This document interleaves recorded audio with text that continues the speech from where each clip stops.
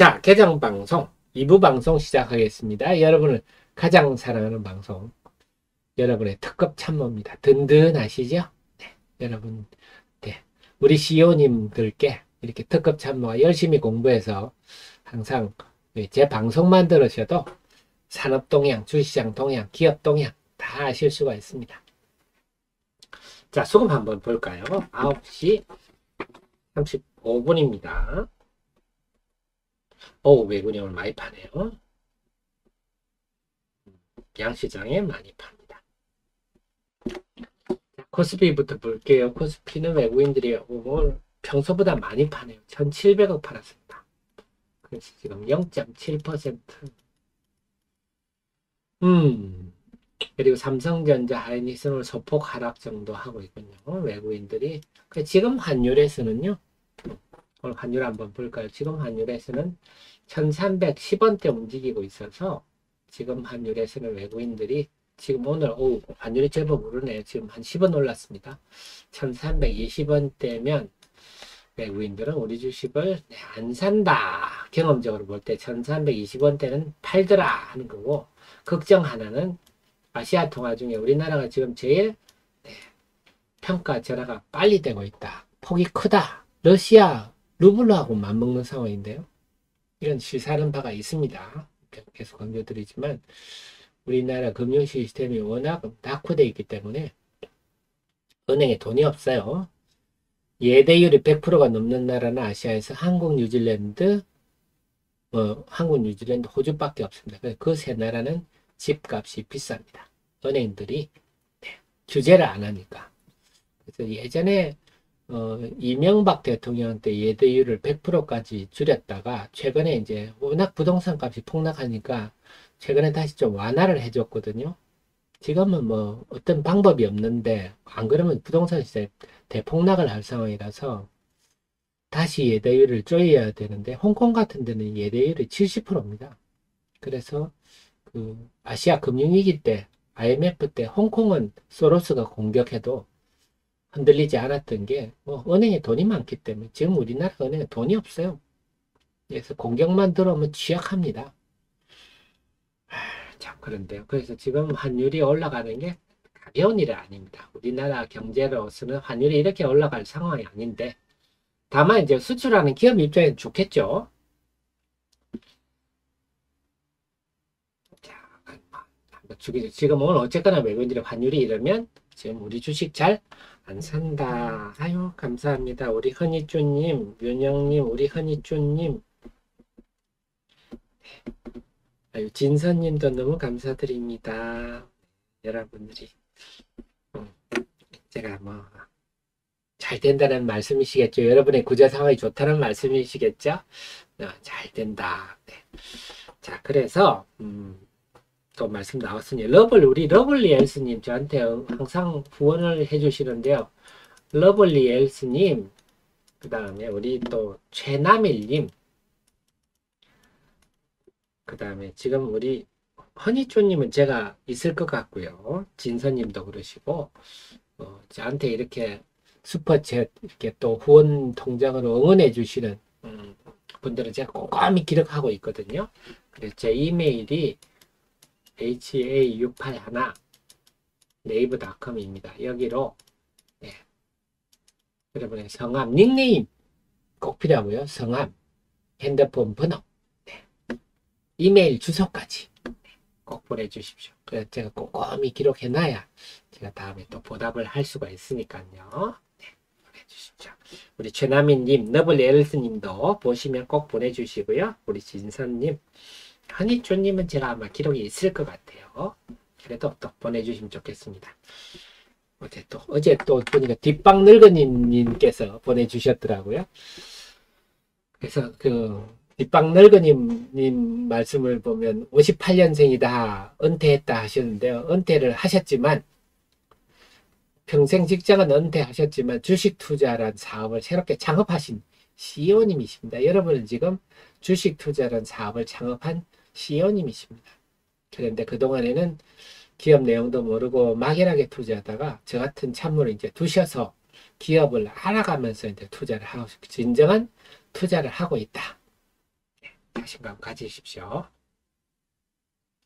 아, 현철님, 현철님, 그 자료 제가 여기 다 있으니까 보십시오. 현철님, 그건 제가 이미 다 설명해 드렸어요. 저희 카페에서는요, 현철님 하이드로 리튬 관련 자료 이미 말씀드렸습니다. 네, 자세히 여기 있으니까 현철님도 보세요. 그 결론적으로는 이, 이번에 이거는 이건 아무것도 아니다 하는 겁니다. 이 내용 보시면 그냥 제가 말로 하는 게 아니라 저는 글로 다 합니다. 분석 자료도 있으니까요. 다. 저희 어, 애청자님은 현철님 다 알고 있습니다. 그 어디서도 들, 들으실 수 없는 그래서 제가 하이드로리튬 같은 게 어제도 말씀드렸지만 이런 분들이 참 안타까운 거죠. 네, 모르면 이렇게 됩니다. 주식도 특히 음, 모르면 당하는 거죠. 근데 또 뭐라 할 게 없는 게요. 아니 모르면서 투자해서 돈을 벌겠다. 그럼 세상에 재벌 천재 아니겠습니까? 네, 네.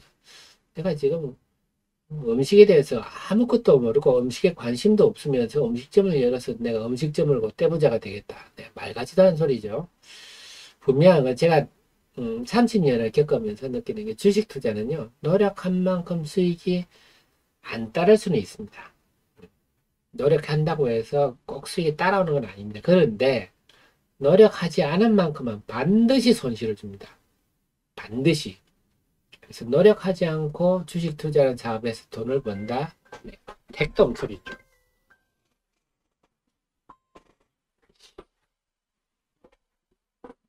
근데 제가 대신 해드리니까.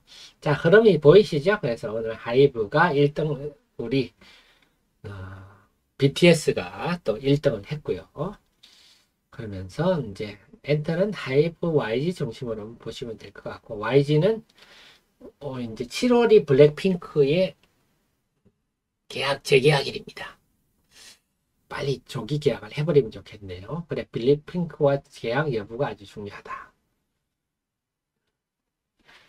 그 다음에 오늘 제가 제일 드렸던 말씀은 에코프로의 주가 상승이 그동안 뭐 이 상승이 작전도 아니고요. 그래서 좀 지나고 보면 제가 아까 어, 개장 전 방송 설명해 드렸듯이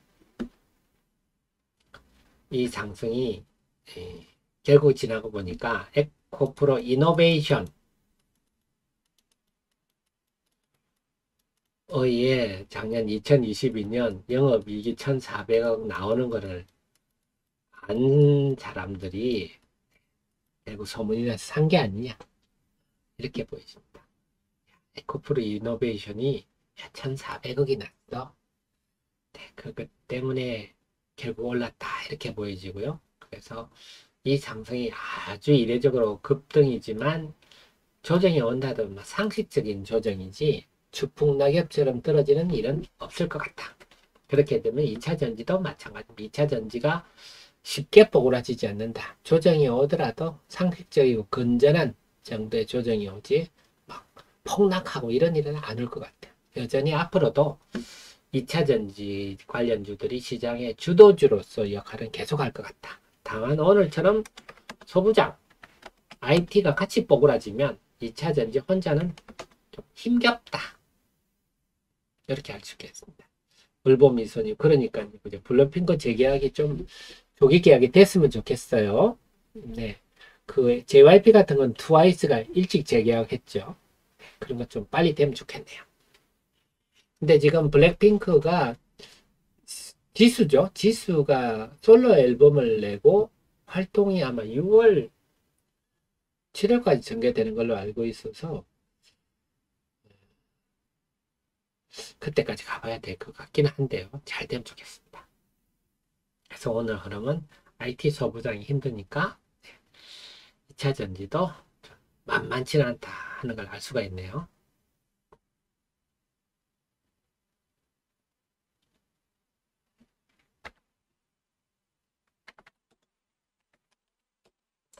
그래서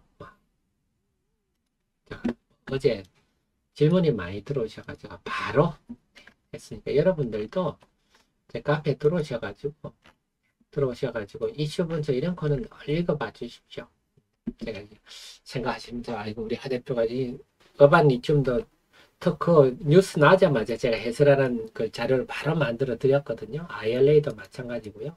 IRA 세부 지침도 다 열심히 제가 제가 영어가 좀 부족하지만 열심히 해서 원어까지 네, 원어 중심으로 원문까지 영문 원문까지 중심으로 해서 여러분 안 헷갈리도록 이렇게 해드렸는데요. 다 참고를 하십시오. 자, 그 다음에 자, 나노 신소재 한번 우리가 한번 살펴보겠습니다. 이것도 여러분의 감각을 가져셔야 되는데요.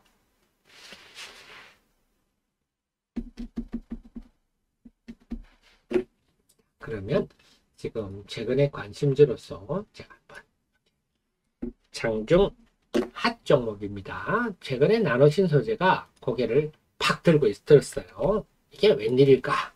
이래서 제가 한번 나노신 소재를 업데이트 해봤습니다. 장중 핫 종목.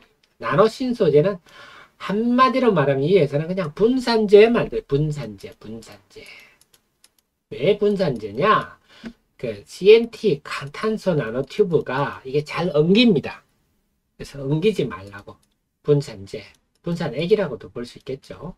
요것 만드는 회사입니다. 요것 만드는데 특히 음극에 사용되는 분산재는 세계 유일하다. 이게 포인트입니다. 아, 그래서 한마디로 그냥 조금 제가 어, 과하게 말씀드리면 그냥 나노신선제는 분산제, 분산액을 만드는 회사다. 이렇게 보십시오. 그래서 그 분산 기술, 또 분말을 하고 결국 분산하는 분산이라는 게 고루 섞이도록 잘 안 넘기도록 그런 의미입니다. 그 기술을 이용해서 하는데 지금 2차 전지 소재가 네, 작년에 보니까 아우 239억 했네요. 그랬습니다. 이게 현주소입니다. 우리가 2차 전지 소재들 대체로 200억대입니다. 200억대 매출했는데 네, 지금 시가총액이 막 1조 6천억, 1조 7천억 하죠. 앞으로 그만큼 성장할 여력이 있다. 이런 게 지금 반영이 되고 있다. 보시면 되고요. 그래서 지금 요 TCO target 이런 게 이것들이 이제 디스플레이 소재, 태양전지, 특히 디스플레이가 지금 많이 위축되다 보니까 이쪽이 지금 그 2차 전지 소재가 성장을 좀 주도하고 있다. 이런 겁니다. 이거는 그 고무적이죠. 그래서 음, 작년 상대적으로 좀 괜찮죠. 영업이익률 20%면. 그래서 그럼 carbon nano tube 지금 자 우리가 양극 활물질 양극재 뭐 양극판이라고도 요즘 하더라고요. 양극 활물질에다가 binder 도전재 이걸 걸쭉하게 섞어 가지고요. 네, 양극 양극재 같은 게 알루미늄 위에다 이걸 쭉 바르죠. 그 다음에 말립니다. 말립니다. 그게 이제 섭식 공정인데 요즘은 이 섭식이 아니고 건식 공정을 지금 개발한다. 막 이런 얘기. 건식 공정 개발한다. 이런 것도 다 가격을 떨어뜨리기 위한 노력들입니다. 원가 절감하려는 노력. 이걸로 이제 우리 양극재, 양극재가 만들어지는데 여기에 해당되는 도전제죠. 도전제. 그래서 도전제는 자, 그래서 지금 도전재는 뭐냐? 네, CNT, 용매, 분산제 이렇게 구성된다 하는 겁니다. carbon nano tube, 그래 carbon nano tube 그러니까 엉기지 말라고 분산제 넣고요. 용매, 용매는 multi-wall, 양극재는 CNT가 이게 wall이 많습니다. 수십 겹입니다. 동아줄처럼. 이거 양극재용으로 쓰이는데 요거는 이제 용매가 NMP고 음극재용은 싱글월 겹이 하나입니다. 음극재가 상당히 힘들죠. 여기는 용매가 물입니다. 그래서 물에 CNT가 참 잘 섞이지도 않고 잘 엉기기도 해서 여기에 분산재 역할이 크다. 싱글, SW 싱글월입니다. 그래서 싱글월, 지금은 JO에서 하는 거 싱글월이 너무 비싸니까 신월 한 6겹에서 10겹, 한 겹은 아니고 요게 싱글월 대비 10분의 1 가격이니까 JO가 부각되고 있는 거죠. 네, 그렇습니다. 음, 그래서 이 회사는 특히 이 싱글월 음극재 부분에서 강점이 있군요. 알 수가 있고요. 음, 그렇습니다. 복잡하죠? 네. 자, 멀티월은 양극재용. 요거는 뭐 하는 업체들이 많아요. 동진 세미캠도 하고요. 합니다. 싱글월은 싱글월에 들어가는 이쪽 분산액 요거는 세계 유일하다. 요게 지금 강점입니다. 생산 능력을 막 늘리고 있어요. 생산 능력, CNT, 그 도전제, 그걸 넣었던 도전제, 이제 도전제 CNT 플러스 용매 플러스 네, 분산제, 이렇게 보시면 되겠습니다. 이제 포르쉐인데, 지금 얘기가, 어, 포르쉐 타이칸 모델에 적용됐는데, 이제 폭스바겐의 이트론, 이트론이죠. 여기도 적용되고 있다 하는 얘기 요즘 나옵니다. 이트론에. 그럼 당연히 나노 신소재께 들어가면 합쳐서 대주전자재로도 같이 실리콘 음극재랑 같이 들어가겠죠. 이트론까지 확대되고 있다. 이런 얘기 좀 나오고 있어요. 그래서 생산 능력을 확대하고 있다. 그 다음에 할로우 실리카 중간에 가까운 실리카를 잘 좀 조절하는 기술을 가지고 있어서 가운데를 뻥 뚫려가 이게 QD OLED 삼성의 QD OLED TV 생산량이 늘어날수록 이 덕을 봅니다. 그래서 이 집은 네, 핵심 제품이 두 가지가 있네요. 분산제, CNT 분산제랑 할로우 실리카 이렇게 됩니다. 음 그렇군요. 그래서 이게 제가 그동안에 그 말씀 드렸잖아요. 그렇다면 대주전자를 보자. 이 집이 더 낫다. 그 설명할 때는 항상 나노신 소재가 대주전자보다 시총이 낮았는데 이제 역전됐어요. 나노신소재가 대주전자재로보다 지금은 시가총액이 큽니다. 나노신소재. 그래서 지금 주가는 그러면 어떻게 됩니까? 뭐 싸고 매력적이다 이럴 건 아닙니다. 과연 앞으로 미래를 어떻게 보느냐에 따라 달려있다. 근데 지금 나오는 얘기는 하대표 얘기 들어보니까 그동안 타이칸 한 모델에만 들어가서 좀 거시기 했는데 또 이트론이란 모델에 새로 적용된다. 그 다음에 앞으로 계속 세경, 적용되는지가 대주전자재료와 나노신소재의 핵심입니다. 그 중요한 거는 여러 차종에 들어가는지가 중요한데 확대될 조지입니다 하는 게 지금 단기 포인트가 되겠습니다. 이상 핫 종목이었습니다. 네, 이해되셨죠? 안 그러시면 나노신소재 참 이해하기 힘든 애들입니다. 내 사무 사무 시우시엘님 그죠? 그래서 어제 일찌감치 여러분이 궁금해 하실 것 같아서 하, 하이드로 리튬에 대해서는 네, 설명을 해드린 자료를 올려놨으니까요. 혹시 안 보신 분 계시면 들어가셔 보시면 쉽게 이해가 되십니다. 한마디로 아무것도 아니다 이런 뜻입니다. 이거 뭐 조합 잘 모르시는데요. 그냥 그냥 너랑 내랑 ABC들이 그냥 조합 이름 한 겁니다. 구자는 각자 구자에 있어요. 이게 뭐 주식 보호해서 되는 것도 아니고요. 팔 것들은 이미 작년에 다 팔았을 겁니다. 자, 시장은 수급 한번 정리해 보겠습니다. 9시 53분인데요. 코스피부터 볼게요. 코스피가 음, 아까부터 좀 빠졌네요. 18분 전과 비교해 보면 외국인들이 300 27억 팔았네요. 오늘 좀 매도가 많네요. 벌써 2천억입니다. 근데 지금 환율이 오르고 있어서 오늘은 좀 갈수록 좀 안 좋을 거 아니에요. 삼성전자 하이닉스도 그렇습니다. 코스닥은요. 코스닥 벌써 오, 1900 하하 외국인들 아까 554억 552억 팔았네요. 야 근래 들어서 가장 많이 파는 것 같습니다. 그래 어제 제가 개장 전 방송 설명드렸듯이 어제 순매수가 아무 뜬금 아무 뜻도, 뜻도 없는 순매수였거든요. 그냥 제가 분석 이미 분석해 드렸지만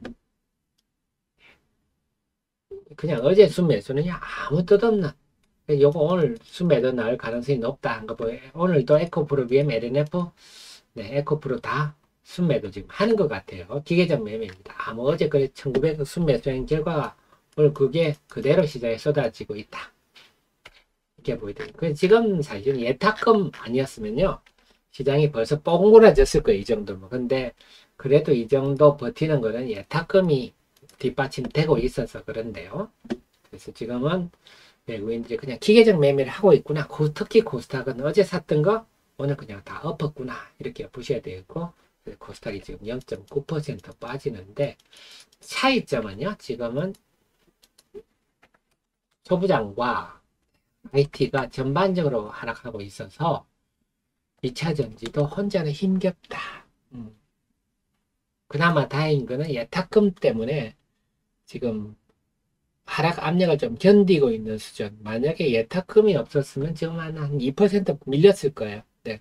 예탁금이 있고 그 예탁금이 여전히 2차 전지, 또그 2차 전지 속에도 제가 어, 개장 전 방송에 설명드렸듯이 에코프로가 아, 하 대표가 분석해 봤더니 에코프로의 상승에 알맹이가 있더라. 쉽게 뽀꼬라지지 않겠다. 이런 것도 2차 전지 전반에 큰 지지력이 되고 있습니다. 그래서 앞으로도 시장이 꿈틀거리면 2차 전지가 여전히 선도할 수 있는 그런 상황이다. 우리 애청자님은 2차 전지 중심으로 포트폴리오를 유지하시는 게 좋겠고요. 그 속에서 제가 아까 엔캠과 중앙 DNM 설명을 드렸는데요. 오늘 중앙 DNM 뉴스는 상당히 제가 볼 때는 음, 의미가 있는 뉴스다. 지금 잘, 잘 모르는 분들은 이게 이해를 못 하겠지만, 어디 갔죠? 뉴스가. 네, 아까 뉴스가 있다고, 어, 이 뉴스군요. 어쨌거나 중앙 DNM이 알고 보니까 NKM의 오정강 대표가 중앙 DNM을 인수를 했고, 거기서 리튬염 전해질을 한다. 이거는 상당히 NKM에도 좋은 얘기고, 네. 지금 또 결국은 그렇게 본다면 엔켄과 중앙 DNM이 이번에 ILA 세부 지침의 최대 수혜주다. 이렇게 해석이 됩니다. 그래서 아마 이런 해석을 시간이 가면 이 기사를 보고 이제 시장에서 그러겠죠. 뭐, 어, 중앙 DNM이라는 회사가 있어? 뭐 이러, 이랬겠죠. 그러면서 이제 제가 이미 공부했던 거를 찾아보겠죠. 아마 시간이 갈수록 제 해석이 반영될 겁니다. 물론 이제 우리 정의원님, 프로연 CEO님 워낙 잠안 자고 공부하는 특급 참모를 옆에 두고 있어서 지금 굉장히 빨리 하신 겁니다. 네, 그럴 수는 있죠. 근데 그동안 중앙 DNM 주가가 좀 올랐잖아요. 이럴 수가 있습니다. 아마 제가 볼 때는 요거는 어, 좀 눈치 빠른 사람이면 이미 그 앞서서 3자 배정으로 좀 열심히 공부, 공시를 열심히 체크한 분은 오정강이란 단, 을 보고 좀 알 수는 있어. 어, 이거 엔캠 대표 있었는데? 이거 알 수가 있고, 두 번째는 여태, 주총 때. 주총에서 사내이사, 사회이사를 보니까 다 엔캠 사람이네? 그래서 이미 좀 열심히 꼼꼼히 본 사람들은 알 수가 있죠. 그래서 저는 그 얘기에 대해서 우리 정의원님 프로는 사실 아는 얘기죠. 제가 이걸 이미 체크를 했기 때문에 아 이거 심상치 않다. 그래서 또 마지막으로 자랑을 좀 해야 되겠습니다. 우리 정의원님 프로의원님 아시겠지만 네, 저를 특급 참모로 좀 두셔야 됩니다. 그래서 프로의원님 보시겠지만 제가 이 앞에 이미 말씀드렸죠. 네, 요때 한 말씀드렸을 거예요.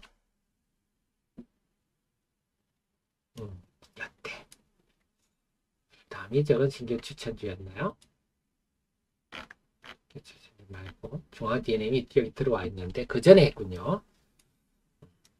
그래서 그 제가 설명드리기를 너무 좀 보인다. 장점은 여기는 구조적으로 예측이 충분히 가능하다. 앞서서 여태 제가 말씀을 드렸거든요. 여태 좀 말씀을 드렸던 것 같은데 그래서 이 주가가 얼마 올랐네 이게 중요한 게 아니고 시가총액이 얼마냐가 중요한데요. 저는 시가총액을 한번 보겠습니다. 중앙티는